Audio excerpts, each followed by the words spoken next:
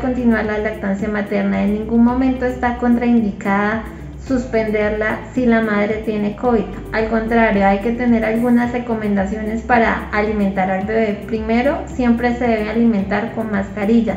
Segundo, el bebé siempre debe lavarse, se debe uno lavar siempre las manos antes y después de tocar al bebé y se deben desinfectar las superficies donde se lacta solo si la mamá tose en el momento de lactar.